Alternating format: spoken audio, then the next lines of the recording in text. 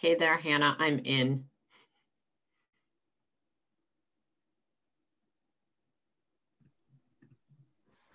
Hi, Jill. We'll get started here in a few minutes. Uh, sorry about that. I, I saw your note come in, but I used the one from the calendar invite, which clearly was not the correct one. So thank you. great. Also, we're currently live on YouTube. Oh, great. Oh,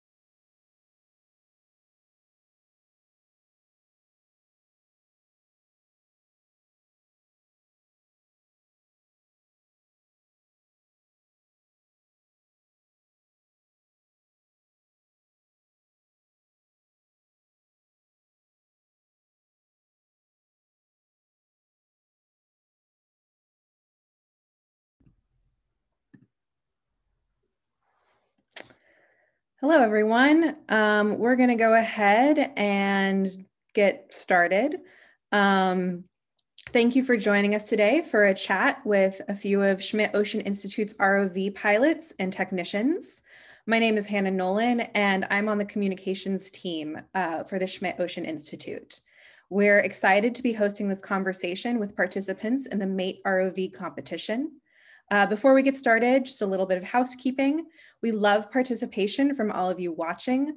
Please uh, feel free to ask questions. If you're participating in the Zoom webinar, you can do through the, um, so through the Q&A box. Uh, and if you're watching on YouTube, you can always ask questions in the chat bar to your right. Uh, we will be monitoring both throughout the chat. Um, to get things rolling, just a little bit of background. The Schmidt Institute was established in 2009 and strives to advance the frontiers of ocean research and exploration through technological innovation, operational support, and open sharing of information. Along with the ship ROV Falkor, our ROV Sebastian became a part of our resources in 2016 and was specifically designed for scientific research. One of the ways SOI seeks to raise awareness and inspire people is through live streaming all of our ROV dives. We are currently on an expedition in the northern depths of the Great Barrier Reef, and our science team and crew recently observed a Dumbo octopus exhibiting um, previously unseen behavior. You can check that out on our social media. Our pilots are pivotal for this work and are trained specialists who have been working in the field for years. Uh, now, I'd love to introduce you to our guests of honor, currently joining us from the waters off the east coast of Australia, uh, J-Rod and Cody. We'll wait for, yeah, Hi, guys. Uh, you are currently on mute, so if uh, you can, I'm gonna ask you to unmute.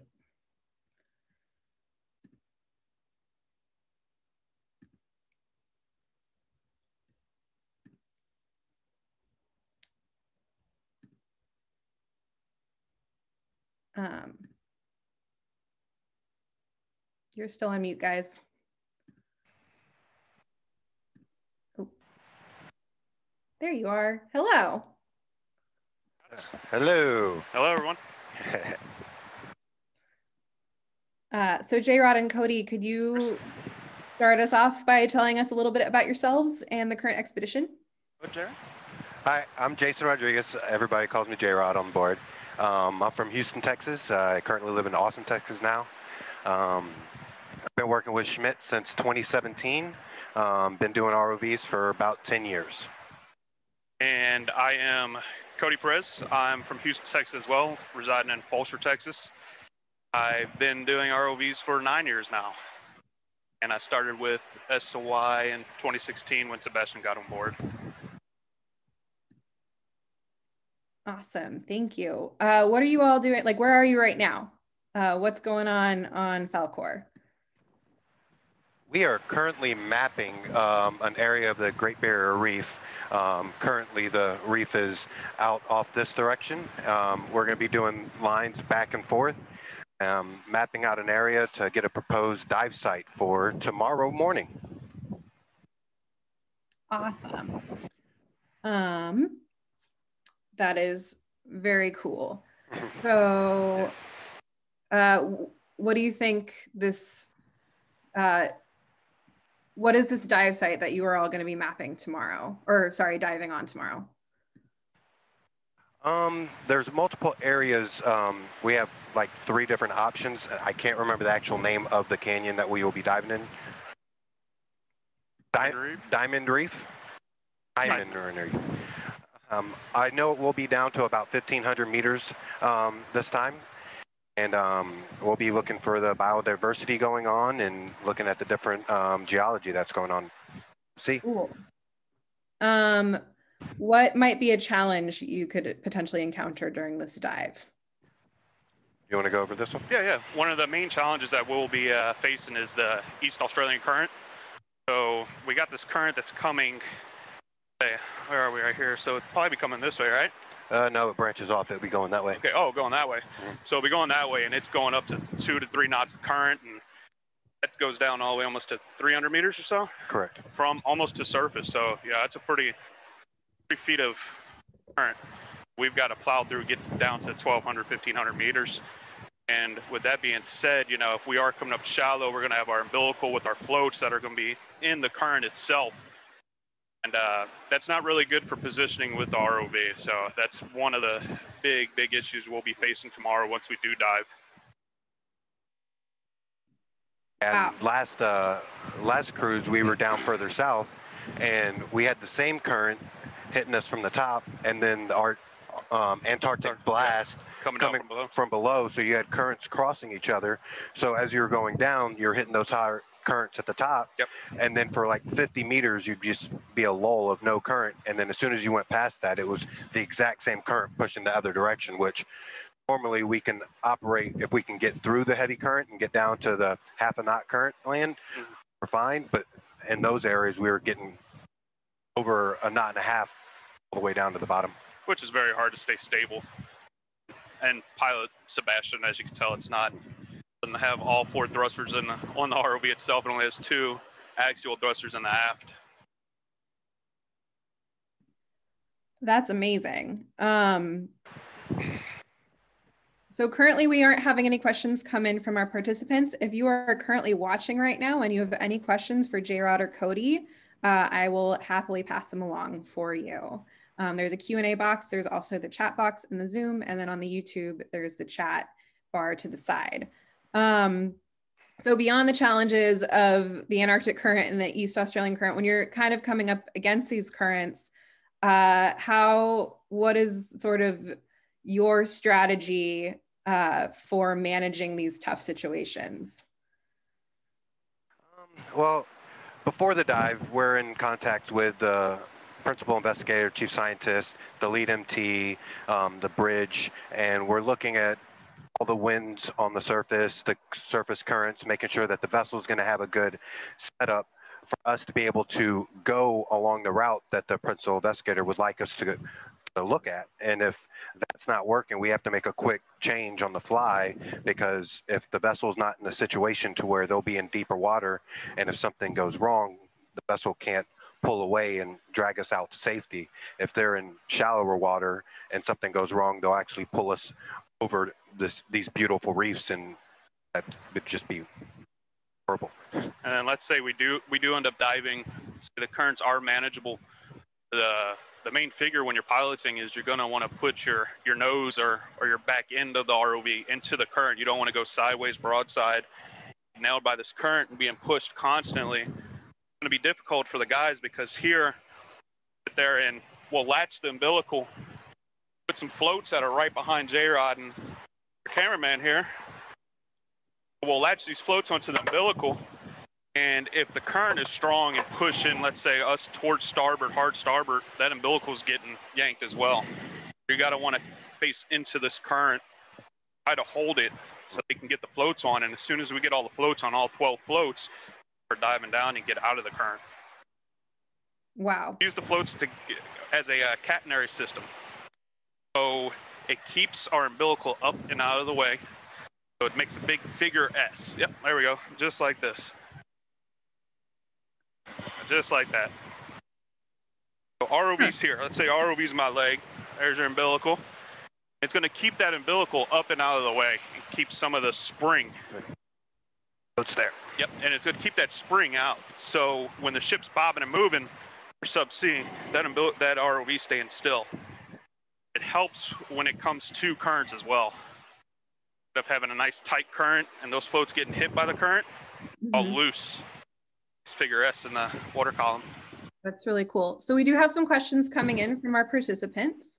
Uh, someone, uh, Matthew asked, how did you two get started in ROVs?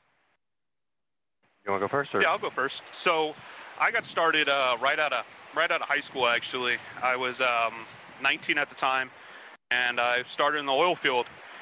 Uh, worked for a company based out of Perth, Australia called TMT, and uh, did a lot of rig support, a lot of offshore drilling, um, did a bunch of dive support, and um, just recently, like I said, in 2016, that's when I started with SOI, and pretty much opened up my eyes to the science world of doing ROVs, and I've been doing it in the science industry since 2016.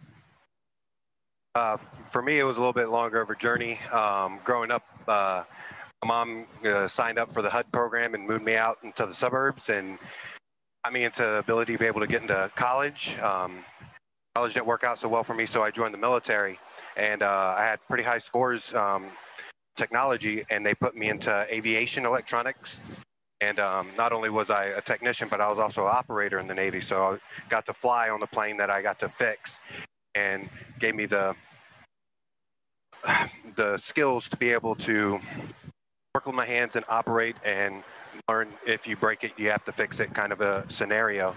And after serving for eight years in the Navy, I got out and um, stumbled into the ROV industry and um, working in oil and gas like Cody did for about seven years. And luckily, I got the call to come over to Schmidt, which has been much more fulfilling than the oil and gas aspect of it. Wow. Um, do you need a special education to uh, have to um, do this job? I'd say not at all. As long as you're you can take criticism and you can uh, work hard and really, really, guess, soak in the knowledge from other pilots, other sonorities, you can excel extremely fast in this industry. Um, obviously, don't you, you want to stay on your toes a lot. You this this industry is constantly moving. You know, there's new technology that's coming out left and right, and uh, you want to you want to stay on your toes when it comes to that. You there's always something new to learn. As you know, we we Yeah. could tell coming from oil field to Yeah. science. You know, this was specially built ROV for science, and we're used to, I guess you could call them tailor-made or you know, factory-made ROVs, to where there's one manual for ROVs, and everybody knows them. To where this is something special, and you got to, you got to really learn and calculate certain aspects of this ROV. Uh, it's you can't just have one discipline either. You can't just go to school and just learn electronics, and that's going to be all you need to know to be into ROV. It's a good thing to have a discipline, something that you find as you're the best at, but you have to be open to the other um, systems like hydraulics, mechanical, um, electrical, which of course there's a difference between electrical and electronic. Um, And- optic network. yeah, and you'll start learning how all these systems work a lot the same, and troubleshooting works the same. A leak in hydraulics is the same as a leak in electronics, and they all cause major issues, and it's just a different way of locating them. And so, keeping your mind open and getting knowledge from anybody you can, and once you find somebody who's doing something you've never done before, Jump in. jump in. You don't have to be an expert on it. You just have to have an idea of how things work Exactly. and and the ability to want to take things apart and put them back together and all that kind of stuff.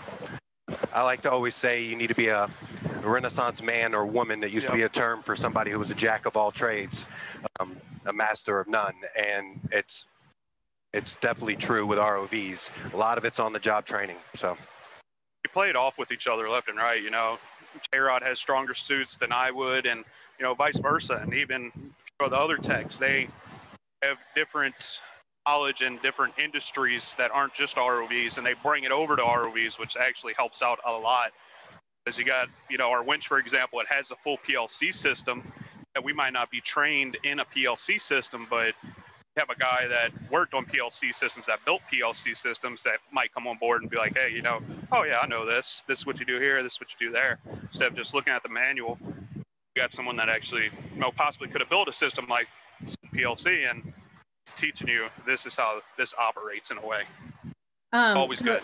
What does PLC stand for, Cody? Uh, can you hear me, Cody? I remember. Yeah, I gotcha. Yes. Logic controller. That is right. Power logic controller. Power logic controller. Cool. Um, so Daniel asks, do you collect specimens on the dives? Yes, we do. We Well actually do. So you'll see Sebastian over has uh, I'll come over two here. manipulators. Um, this is our port uh, T4. Um, this just has our regular jaws on it.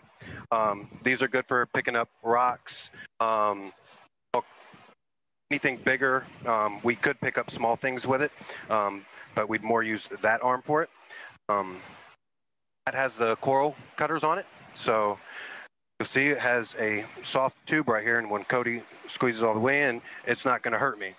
Um, but this right here is like a cleaver, which can cut the coral, and then we get a soft grab of it, and then we can then easily stow it into one of the bio boxes.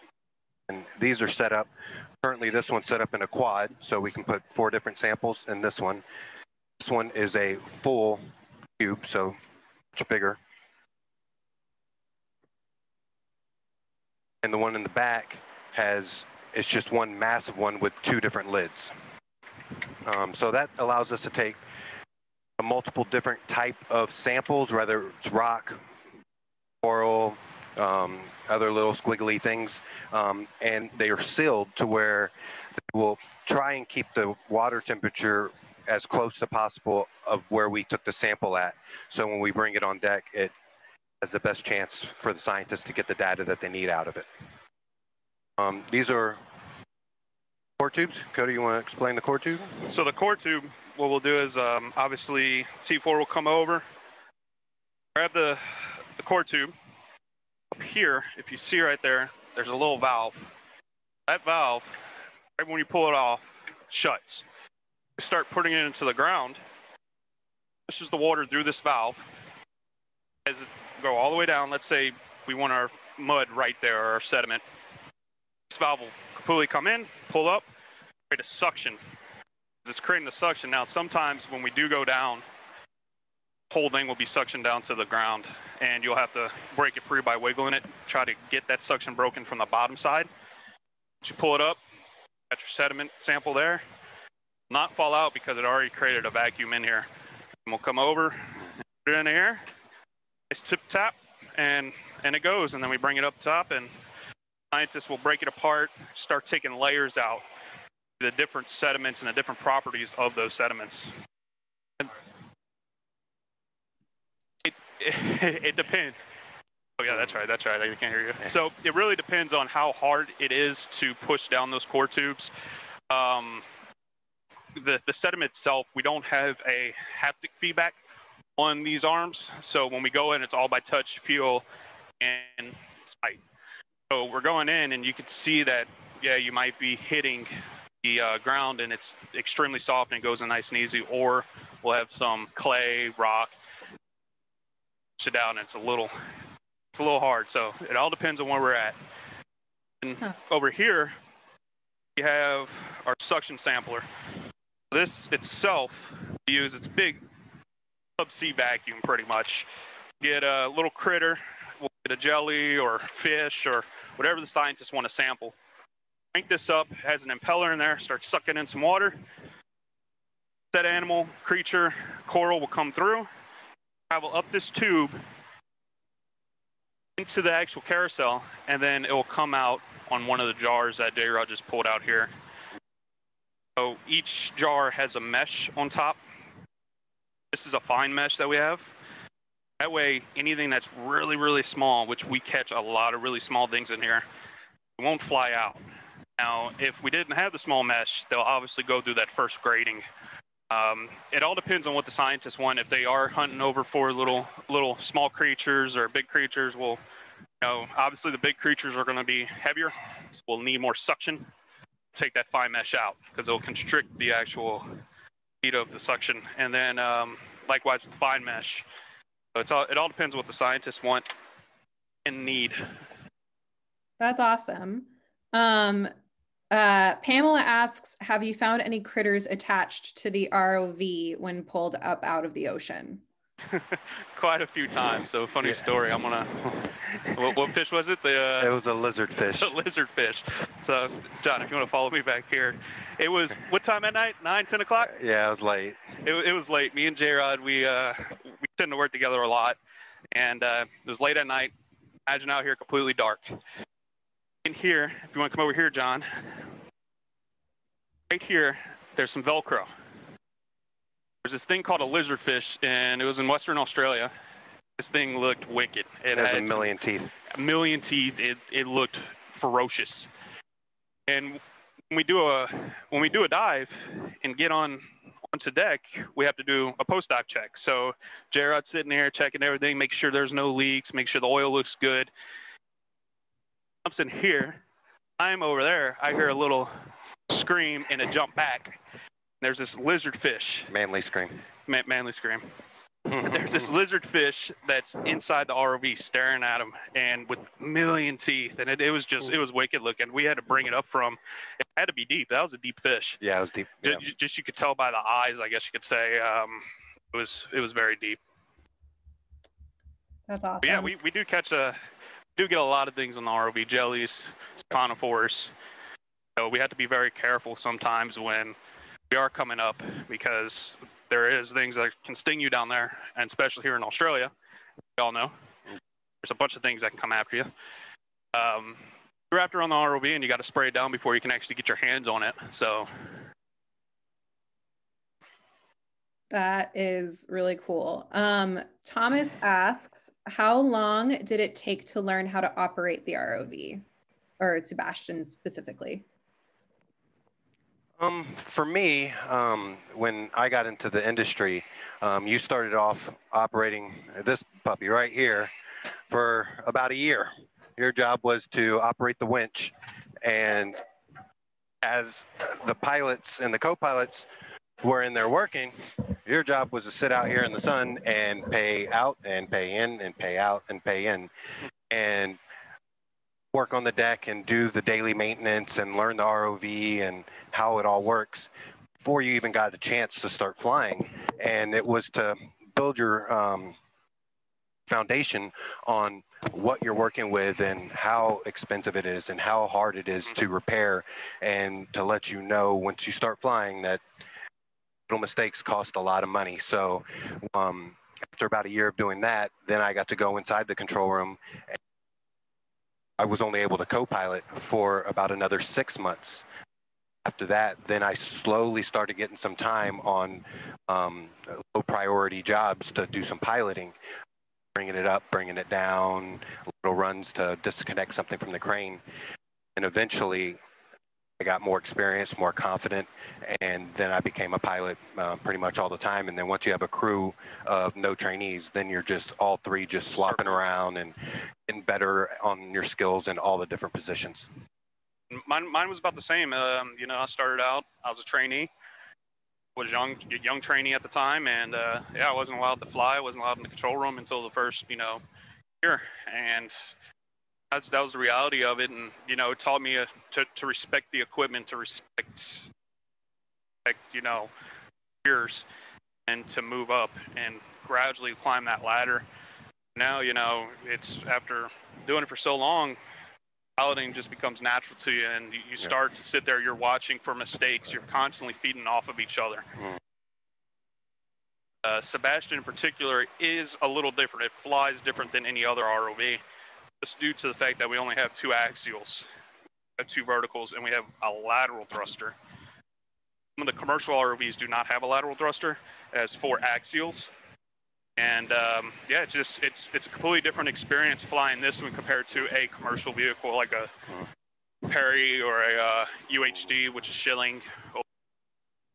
One. There's a big reason why our system is like that, though. Yes. It does hinder us for rough weather operations and high currents. But when we're looking at jellyfish that are about that big, about this close to the ROV, trying to get 4K footage of it using that camera that John's showing you right now, if we were to have the normal thrusters right here, any little move that we made forward, backwards, or heading correction would put a prop wash right here and just um, mess up the all the imagery of the jellyfish. Actually, that segues into another great question. Uh, Justin on YouTube asked, last dive when we were looking at the Dumbo octopus, it occurred to me that it must be very difficult to track a floating creature like that, especially with the currents. How do you do it? Yes, um, as Cody was mentioning early before, um, if you have Sebastian broadside to a current, it's like a big wall. So that current is hitting us significantly harder than it's hitting a jellyfish that's designed to float through the water. Yep. So we start moving at a faster pace than the jellyfish. So we actually have to find a ideal heading that's safe for us and the vessel setup to be able to float with it at best we can so that we're not throwing too much prop wash towards the animal. Uh, if none, if possible, we want absolute none. And then all we have to do is just really manage our um, elevation. It, as you can tell when we when we were flying around it, at the beginning there was a little prop wash, a little bit of the current that was hitting that Dumbo. That's when we started to maneuver and get into a good position. That's when we started getting that good video. Yeah, there's a little bit of bobbing and weave, and that's because we're zoomed in on said creature. We don't want to be too close to it. We don't want it to come into the ROV. We want to stay at a certain distance, especially dealing with a you know, an octopus, and we don't we don't know what the octopus was actually doing or what it had inside of them. Yeah. So you know, we wanted to stay at a good distance and just keep an eye on it, and that's why there's just ever so slightly a little bobbing and weaving, just a little bit. It's because we're zoomed in and we're trying to vertical and keep up with the animal. That is definitely a, an impressive skill. Um, Matthew asked, uh, what is the coolest system slash item slash thing on Sebastian? Oh, um, I mean, I'm definitely, I'm definitely partial to the T4. T4. Uh, it's uh, it's significantly stronger than um, it looks. It can pick up a thousand pounds uh, straight up. You can get 250 pounds all the way out to where I'm at right now, which is about seven foot away from the ROV, and it can do that and manipulate 250 pounds all the way out. We can also pick up cup corals on the bottom of the ocean that we won't break bring them up and then the scientists accidentally break them when they take them out of the battle box because they are so fragile so we'll come we'll we'll bring up an arm, but I would have to agree with J Rod. Definitely the T4, and then second would be the that 4K. The video cameras. Yeah. The the 4K camera itself. Um, what is like Yeah, what right. makes the 4K camera so special? uh, uh, hold on real quick hannah we're about to do a t4 demonstration real quick Oh, great. Awesome. So we're gonna operate our starboard arm.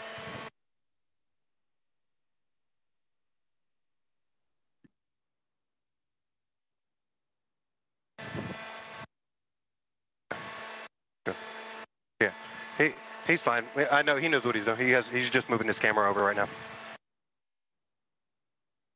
Here we go.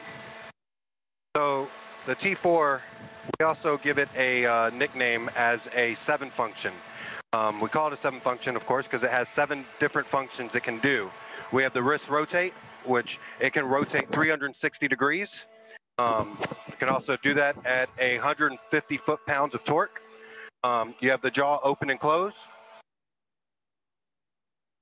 which has a crushing force of 900 foot pounds, I believe. Yes. Then you have the yaw function, which allows us to go in and out.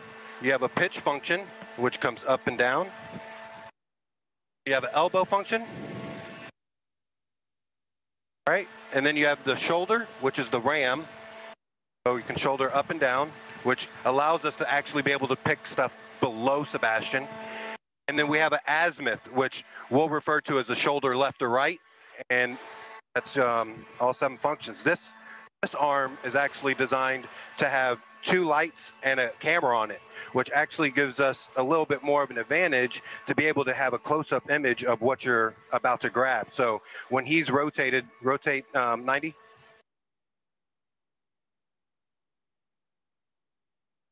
Chris, rotate 90. All right. So when he opens up, he now has a perfect view of what he's going in to grab. Beautiful. First out. And then the 4K camera, Chris, when you're ready, um, the, what Cody was talking about, we actually have the ability to be able to bring it out to about right here.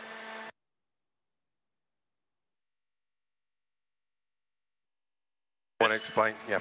This this helps out when we're um, let's say we do have this porch out. As you can see, we do have the porch out a little bit. This will help out with actually getting this out of view of the camera, so we can get those nice shots. As well as when the porch is sucked in, this is all the way out. We're able to feel get that that feeling of being closer to the animal with not really being too close to the said creature, and that's when we like the other day with the Dumbo octopus. This was all the way out, and you know when it comes in, you obviously get your peripheral of the actual arms, but it's not too bad. You're good to close that back in, Chris?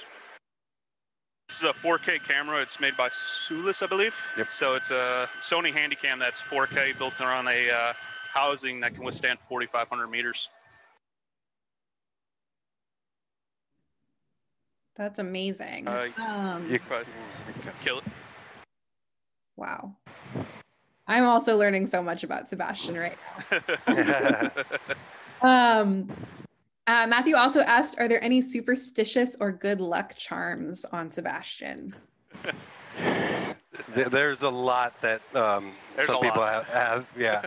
we don't play music in the morning, so that's one big no-no. No music in the morning. Yeah. Uh, you got to make sure you finish your coffee before you can touch the ROV. Um, what's some what's some other ones that we got?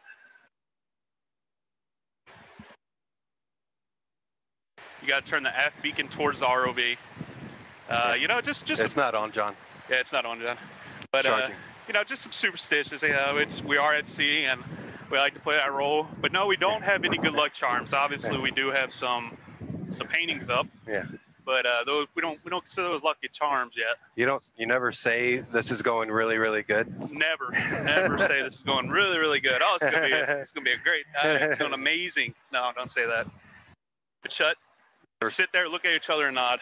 Never say the R word, which is retermination. Re- Reterm. yeah, never, never say Yeah. reterm. Reterm is uh, one of the nightmares of being an ROV pilot. That's when um, cable that connects you to the vessel um, has an issue, whether it be it got bent or one of your conductors um, got too hot due to current and um, gets a short to ground, whatever it may be.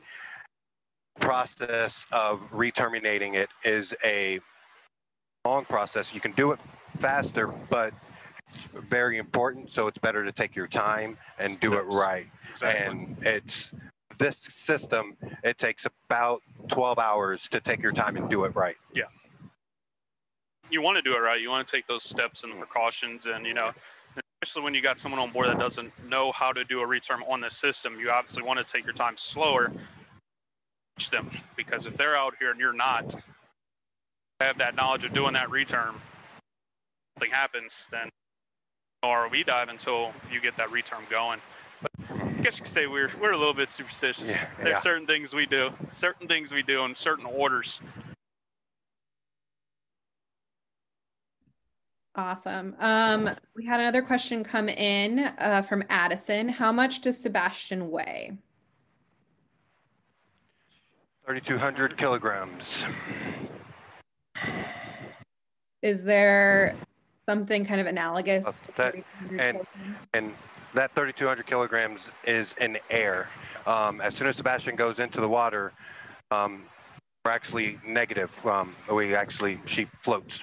Yep. so um, that is due to uh, the foam block that john was just pointing out. Um, um, foam block is rated to be able to go down to depth. It's not your typical foam. It's a synthet- synthetic foam, which is actually made up of millions of little glass um, spheres. Um, that doesn't compress as much as typical flotation would, and um, that's why we have all this rubber right here because it still will shrink a little bit, and the flotation will kind of be moving just a little bit when we're subsea. Um, Cody was pointing out that behind all the artwork, we actually have the ability to slide um, flotation out.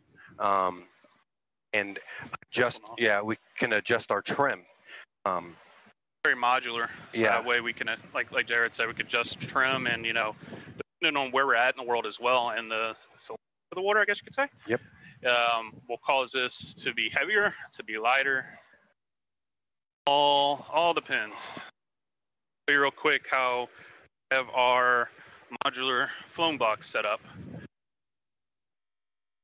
Exactly, and depending on like uh, John, the cameraman, was saying, depending on depending on what type of equipment is on Sebastian itself. We have um, scientists that'll come up. That's which brings in another good point while Jared takes that off. We have an open deck system to where scientists can come in and put their equipment back here and we can stage it different parts of the ROV.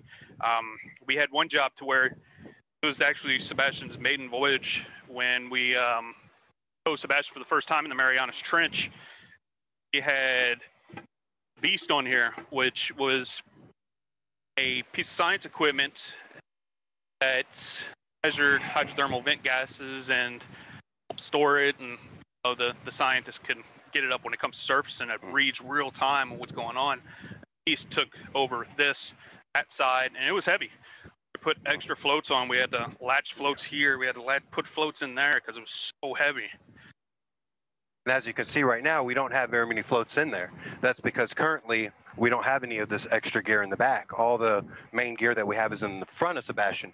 So the front is primarily full and the aft is not. That way to keep the front of Sebastian pitched more up or trying to be more pitched up.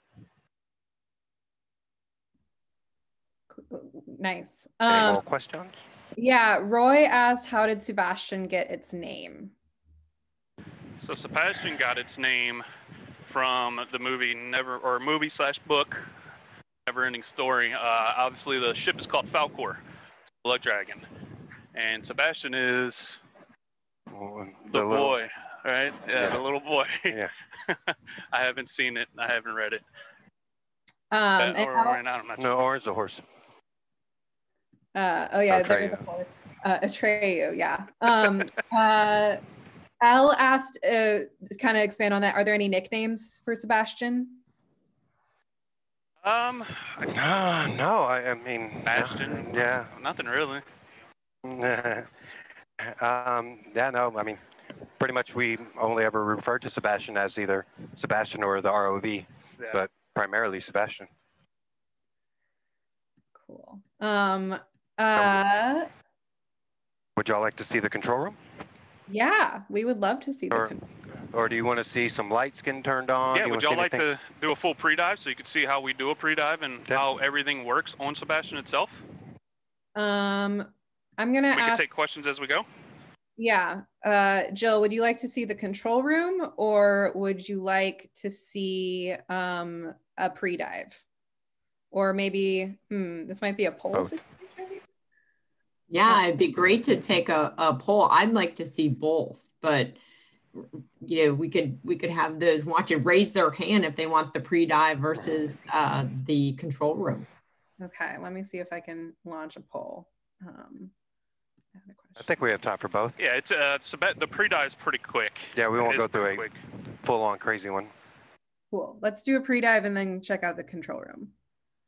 All right. Let's do it. Chris. We normally start off with the electronics. So things that Chris has already done on the inside by turning on the cameras, establishing comms with us out here. Um, yeah, yeah, just. Um, we also will turn up all the depth sensors, the compasses, um, INS, which is the navigation system, um, and spin all that up. And then once all that is good, then the pilot on the inside will let the people on deck know that he's ready to start doing all the checks. So then we will then go with lights. And Chris, if you could come on with just turn on a whole bunch of the lights and then we'll come back Oh, off. Turn them all Yeah, on. yeah, That'd be cool. Yeah. So Sebastian has about 500,000 lumens. I know that sounds like a made up number, but it is actually that much. It actually just got hotter with all the lights on. Yeah, It's pretty Uh, warm right um, there. That's all the different um, lighting that we have. Um, what we would be checking to make sure that they're all pointed the right way, that they're all working properly. Um, after that, um, we will then go to the back and Thrusters. Yeah, we'll then make sure that this ball valve right here is open. Um, if not, um, it'll make a hydraulic lock in the system. Um, and once we say that is open, then we will give them the clear to right, Chris, red ball valve open, clear, come up with HPU. All right, now what I'm going to do now is I'm to direct him. I'm to tell him which way to go on the thruster. So what I'm looking for is the correct direction of the thruster spinning. I'll feel for air as well. So Chris, go forward. But now I can feel an air blast coming towards me. That's him going, now come aft. Let's just spin that way, no air, air is being pushed forward. Now he's going to rotate port. I should get a change to get air this way, no air that way. This spinning a different way than this one. Starboard. Likewise, port. Getting air, no air. And then what we're going to do now is we're going to come onto the lateral. He's going to push the big lateral that we have in the middle. Chris, lateral port. Lateral starboard. Likewise, we're checking the rotation and then vertical up and vertical down. Then we'll do the other way on the on the starboard side of the vehicle. We have a vertical thruster over there, and then Chris, vertical up, vertical down. Now, once hydraulics are done, I'll tell them to secure hydraulics so that way they don't have a run up, or if he accidentally touches something, they don't run. Don't want those to run in air for a long period of time. After he does that, I will tell him to, you know, come on with the suction sampler. We'll test the suction. We'll sit there. We'll rotate the index. We'll come in and out with the Mhm. porch. When he comes in and out with the porch, we'll open up the bio boxes, check all them, and we'll check these. We call these um, our arms. So the Rams. the rams. These will slide in and out. Have two D rubbers on here. So the reason for this is when we come up to a rock face. grip, hold Sebastian on said rock face without using the porch, without putting the arms out to hold something. We can actually just brace ourselves on there and put a little thrust forward and it'll hold it. And bring that in. And then, uh, you know, like we did with the science cam, we'll science cam in and out and tilt up and down with their sit cam. Sit cam stands for situation camera. That is correct, John. Yeah. Yeah. Sit cam up And then bio boxes? Let's. Just bio box two?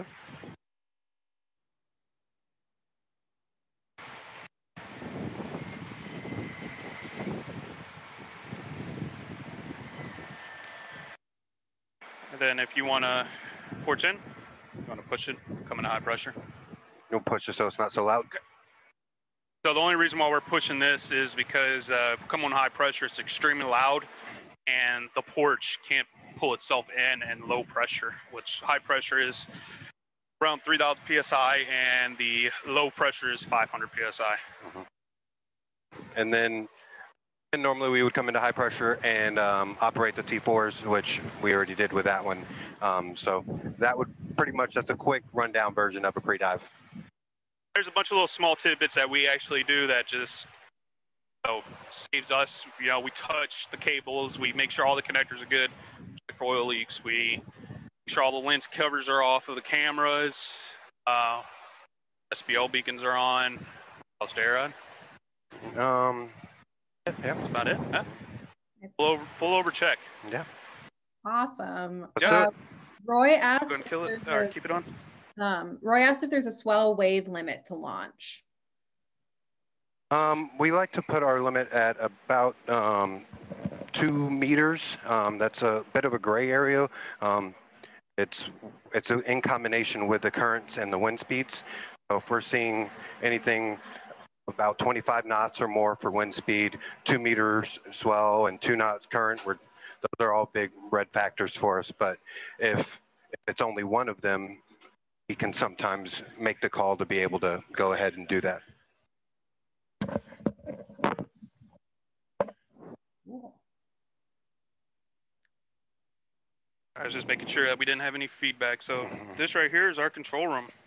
Some of these out the way. Oh, where J Rod's standing is the co-pilot seat. This is where he's going to be logging stuff, turning on cameras, turning on lights, sensors. Most importantly, in the T4. Well, uh, this is where we do all of our sampling. If you see, this uh, controller um, mimics the actual ARM itself. So it has the exact same seven functions that I was talking about earlier. So everything we do with this controller, um, the ARM will do. We can slow it down to where, um, to let's say 50%. So it takes 50% more travel um, to be able to operate the ARM that much. Um, I currently, I like to run it in the 100% to get more of a idea of where my arm is and be able to, if you go nice and slow and do a sample, should be able to just nice and easily come back to right where you left off.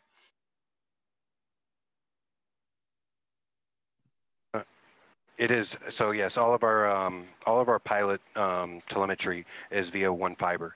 Um, this takes all of our 232 uh, communications, 485 communications, Ethernet connections, and then puts it onto a fiber, brings it up, then it gets taken out of the MUX and put back out into all of its different systems in real time. And then uh, all these screens you're looking at, we have a total of 10 cameras on Sebastian. And, and like J Rod just said, um, cameras have their own fiber as well. So each one of those cameras are strategically placed around Sebastian to give us that 3D feel of when to feel like we're inside the sub itself. Um, we have SD cameras to help out with, you know, getting the samples at one point at the suction jar. And uh, 4K, 4K is a direct feed, so we can get real time when we're working with the T4. And then uh, we also have different programs open. We have different computers open. We have sonar. We have INS computer. We have the USBL computer.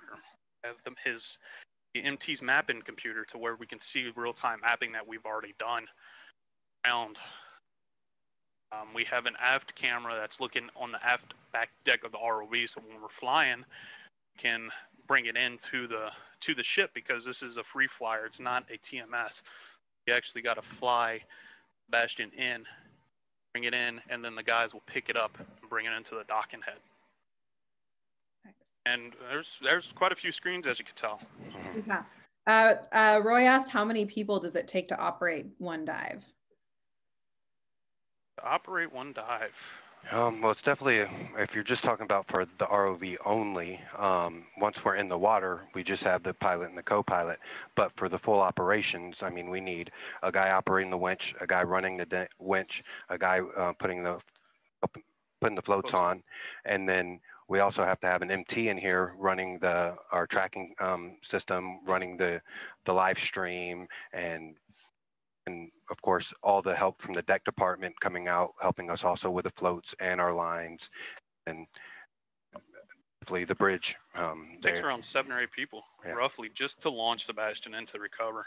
Uh, when it comes down to flying, you know, like Jared said, co-pilot, and then MT helps us out with navigation. He helps us out with um, he or she helps us out with a bunch of few things over.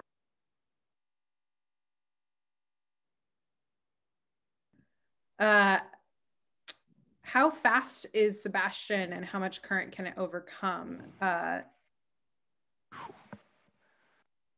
I, I, would say um, Sebastian could probably go about two knots, um, but not for an extended amount of time, um, given um, you are dragging the cable along behind you and depending on what uh, depth you're at, if you're at the surface, um, Sebastian will start getting hot pretty fast if you're giving it all she has. Um, so um, in all reality, we don't hardly ever go anything over about uh, 0.7 of a knot. That that's probably the fastest we're actually ever going for operations. Um, and typically, what you ever see on the YouTube would be something more of like um, maybe a point two. really, really slow. Yeah, yeah. About um, what is it? Uh, two point two meters a second. Point three, yeah, point three meters a second. Point two, point, yeah, roughly. And uh, current, what's about a knot, half.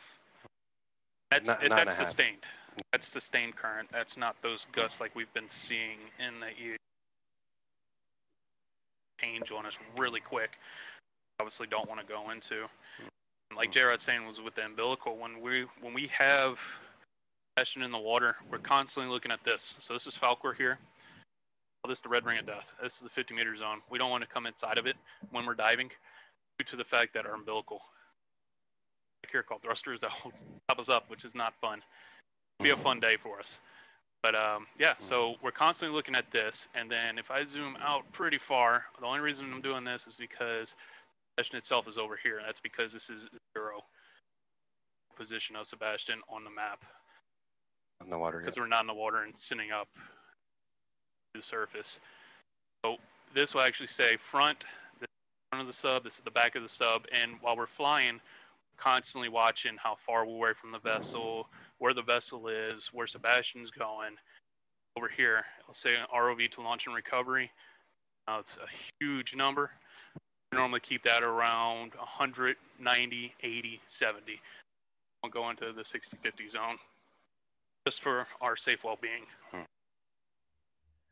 Um, we do have a trick if it's just a surface current of something that's above 0.5 and it's just on the surface, we can actually move the vessel um, at a constant pace mm-hmm. to make it seem as though the current was less, less than that. I guess maybe this segues well into Rob's question, which is what is the navigation accuracy at depth?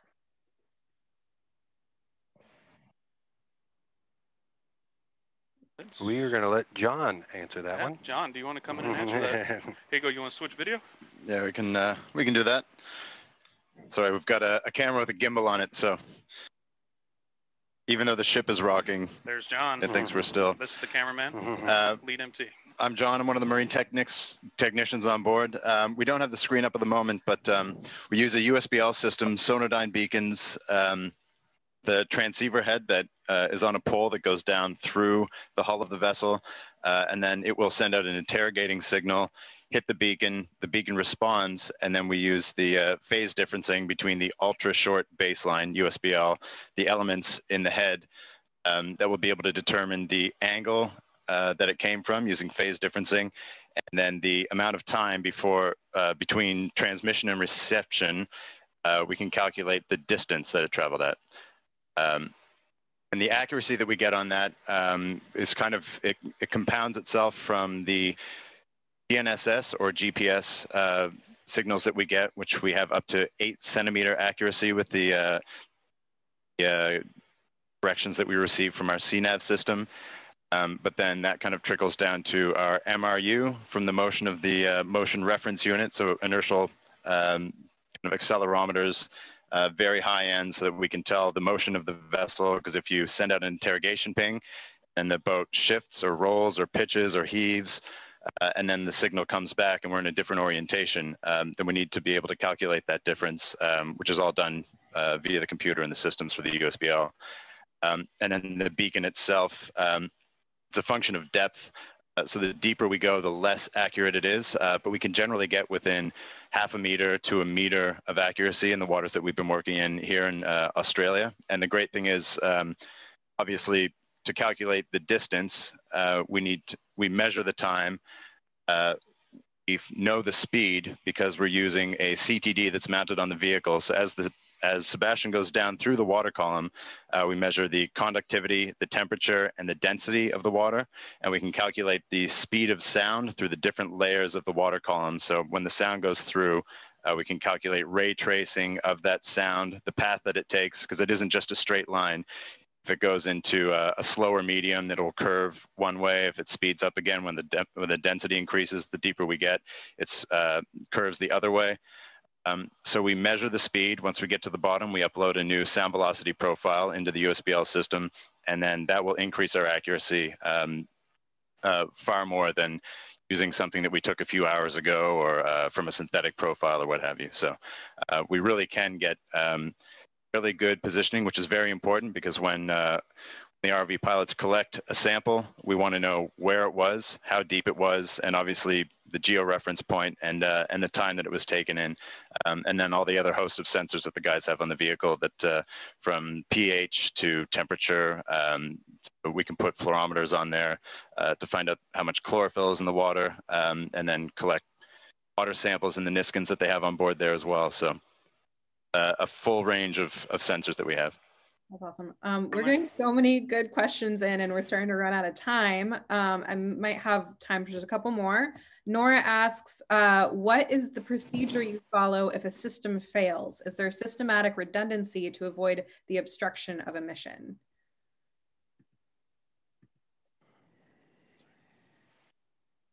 Uh, so if we had a dead ROV, hypothetically, we would obviously start paying in slowly won't have any kind of control over the sub, so we'll obviously have to maintain someone in here to monitor navigation to see where the sub is, and we'll maneuver the ship to catch SuBastian in a way. Um, it's it's really it's a it's a dance. It's a dance. If we had a dead ROV, uh, we have to have all the elements right. You know, the, hopefully the current's good. Hopefully the sea state's good. When we do, do have something that comes up like that, um, redundancy wise, I don't think there's. Yeah, we'll do have mm. redundancy on the positioning. Yeah, we, we do have the backup beacon that yeah. um, isn't on right now, but um, well, just because we're not in the water. And that's actually the last time that we did have a dead ROV. That was how John was able to track it and tell us how far away we were from the vessel, mm-hmm. the speed that it was coming up, and letting us know how to adjust the speed of the vessel as well as our pan of the winch. And believe it or not, everything went really smooth. It was mm perfect. Perfect. So, you know, mm-hmm. when you, when you get those situations, it is mm-hmm. stressful, but you got to remain calm and, you know, mm-hmm. right. rely on people that you have. We're, we're all here professionally and got to rely on everybody's take on how to recover a dead system. It could be, it could be, could be bad having um, redundancies in um, ROVs that go this deep um, is a challenge. Um, we currently use five um, copper conductors going down a line of 5,500 meters, as well as six fiber optic cables, five which get used. And uh, double that to be able to have um, a full redundancy to be able to swap over if something bad happened, that would double our cable size, double our winch size, double the weight of everything, and not make SuBastian as nimble as we are. So you kind of lose some of your redundancies, streamline, make sure that you're using the best components that you can and maintaining them properly. Nice. Um, and I guess one final question. Uh, if you could go anywhere uh, in the ocean, where would you like to go with SuBastian? We're already hitting the ticket items. We're in the Great Barrier Reef. I used to say the Great Barrier Reef. I guess uh, all that's left is the Antarctica for me. Uh, Marianas was nice. I've, I've, we got to fly Marianas Trench. That was awesome. That was a good. That was a great experience. Um, I would say Antarctica as well. I mean, yeah. that's the that's the only other place I've been to the Atlantic. Yeah. I've been, been everywhere else. Let's, let's go to Antarctica. uh, actually, maybe one more. Um, what is the most exciting moment you have all experienced? Most exciting moment. Uh, I, I know yours. Yeah. It had um, to be that's for. Yeah. Um, during one of the uh, recoveries um, in Ningaloo Canyon, um, we were coming up, and normally when we're coming up from deep, which I think that dive was over 3,000 meters deep. 3, that was our deepest one. Yeah, and it takes it takes hours to come up. So pretty much everybody gets bored of being in here because it's a lot of blue water, and it was just myself and another scientist, and I like to look at little creatures as I come up and go down and I came across a siphonophore that was roughly about 140 meters long um, in a really big spiral shape. At first, I just thought it was just really far, but as I kept trying to get closer, I realized it was just that big and it was just taking up the whole camera's um, view. And um, it was amazing. Um, all, all, of a sudden, the control room just filled up with people and just sat there and flew around it for about half an hour, just taking in something that could possibly be the longest animal ever recorded in history. Um, that's still up for debate or verification. I don't know how all that's working out. Uh, you know, mine is it, it changes, changes a lot. Look at the other day, we found that Dumbo octopus doing a weird behavior. That was pretty neat. Um,